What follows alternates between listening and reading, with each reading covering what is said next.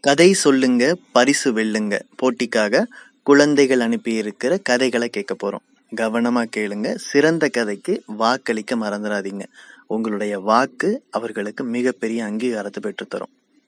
முன்னொரு காலத்தில் ராமையன் என்று ஒருவர் வாழ்ந்து கொண்டு வந்திருந்தார் அவர்களுக்கு இரண்டு மகன்களும் இருந்தாங்க. அந்த இரண்டு மகன்களுக்கும் சரிபாதை அவங்க சொத்து பிரிச்சு கொடுத்தாங்க. முதல் மகன் மிகவும் சுறுசுறுப்பானவன்.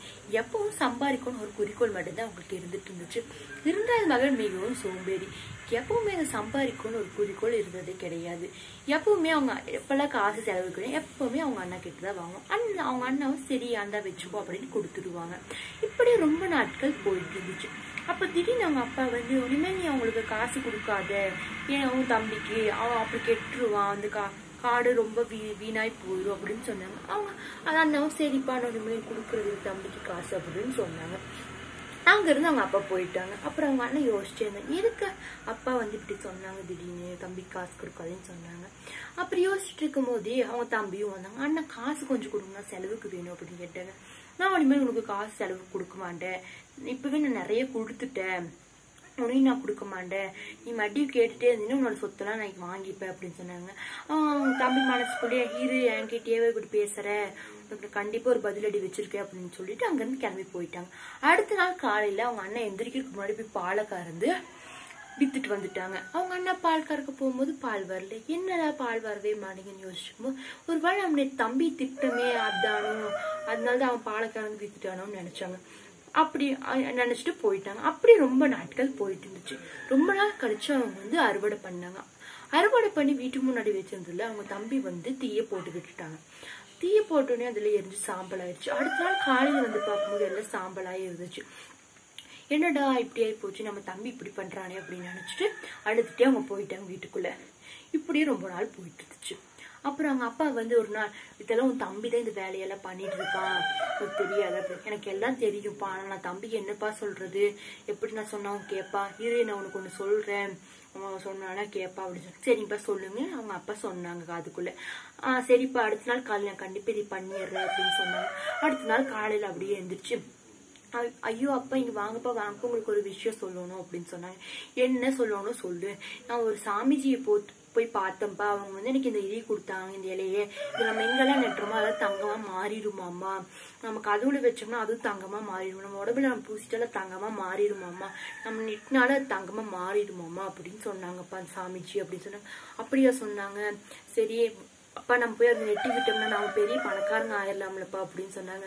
சரிப்பா நம்ம போய் நெட்டி விட்டுடலாம் அப்படின்னு சொன்னாங்க. அவங்க ரெண்டு பேரும் கிளம்பி போயிட்டாங்க. டேபிள் கடி கொஞ்சம் இது வச்சுட்டு. அவங்க தம்பி எல்லாம் ஒட்டு கேட்டுட்டு நின்று இருந்தாங்களே.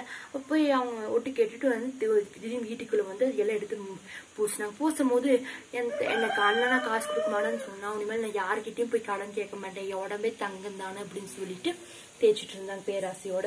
தேய்க்கு தேய்க்க அது ரொம்ப அரிப்ப ஆரம்பி அரிக்க ஆரம்பிச்சிருச்சு. அடிச்சு ஐயோ அம்மா அரிக்குதே அரிக்குதேன்னு சொல்லிட்டு கத்திட்டே வெளியே வந்தேன். அப்போ அவங்க அப்பாவும் தான் அண்ணனும் வந்தாங்க. வந்துட்டு இருக்கும்போது என்ன ஆச்சுன்னு கேட்டப்போ எனக்கு ரொம்ப அரிக்குது அப்படின்னு சொன்னாங்க. நீ தான் என்னோட பொருட்கள் எல்லாம் திருடியா யார் யார் தேய்ச்சா அவங்களுக்கு அரிக்குதோ அவங்க தான் உன்னோட பொருட்களை திருடினாங்க சாமிஜி சொன்னாங்க அப்படின்னு சொன்னாங்க. நீ தான் என்னோட பொருட்களை திருடினியா? நீ ரொம்ப பேராசை பிடிச்சவனா இருக்க அப்படின்னு சொன்னாங்க. இனிமேல் இது தப்பெல்லாம் பண்ண மாட்டேன் என்னை மடிச்சிருங்கண்ணா அப்படின்னு சொன்னாங்க. அவங்க அப்பா இருந்துட்டு அதான் பேராசைப்பட்டா இப்படிதான் ஆகணும் நீயே உழைச்சி சம்பாதிக்கணும்னு நினைக்கணும் அப்படின்னு சொன்னாங்க. நானே இனிமேல் கஷ்டப்பட்டு சம்பாதிக்கிறேன்ப்பா அப்படின்னு சொன்னாங்க. அப்புறம் அவங்க அந்த அண்ணன் போய் மூடிக்கு எடுத்துட்டு வந்து தேய்ச்சி விட்டாங்க. தேய்ச்சி விட்டோடனே கொஞ்ச நேரத்தையும் அந்த அரிப்பெல்லாம் காணாம போயிடுச்சு. அப்புறம் அவங்க அண்ணன் சொன்னாங்க நீ ஒன்றுமே பேராசைப்பட்டு எதுவுமே பண்ணாத. அது இப்படிதான் பலனா வரும். நீ இனிமேல் இப்படி பண்ணினா உனக்கு இதான் கதி அப்படின்னு சொன்னாங்க. இனிமேல் இப்படி எல்லாம் பண்ண மாட்டேனா? அப்படின்னு சொன்னாங்க. நீ என்கிட்ட இருந்து பண்ண நெல் இதெல்லாம் எனக்கு கிட்ட இருந்து திருநில இதெல்லாம் நீ எனக்கு திருப்பி கொடுத்துருணும் நீ என்கிட்ட இருந்து வாங்கின கடன் என்னோட பாலை விற்றுது இதெல்லாம் நீ எனக்கு திருப்பி கொடுத்துருணும் அப்படின்னு சொன்னாங்க. ஆனால் என்னால் இப்போவே கொடுக்க முடியாது. எனக்கு கொஞ்சம் நாட்கள் டைம் கொடுங்க. அப்படின்னு கேட்டப்போ நான் சரி நான் உனக்கு ஒரு மாதங்கள் கொடுக்குறேன். நீ எனக்கு கொடுத்துருவணும் திருப்பி அப்படின்னு சொன்னாங்க. சரி நான் கண்டிப்பா கொடுத்துருவேன் நான் படம் மாட்டேன் அப்படி அப்படின்னு சொன்னாங்க. அவங்க அண்ணனும் சரியா நீ அனுப்பிச்சு விட்டுட்ட போயிரு அப்படின்னு சொன்னாங்க. அப்புறமா அதானே இந்த கதை முழுவதும் உங்க எல்லாத்துக்கும் நான் தெரிய வைக்கிறது என்னதான் பேராசைப்பட்டா இப்படிதான் நஷ்டமா போயிடும். அதனால எப்பவும் பேராசைப்படாதீங்க. இந்த கதை மூலமா நான் இதை தெரிவிச்சுக்கிறேன். Thank you for giving me this wonderful opportunity மேலும் கதைகளை கேட்க book day dot in Bharathi TV Bharathi புத்தகாலயத்தின் அனைத்து சமூக ஊடக பக்கங்களை பின்தொடருங்க.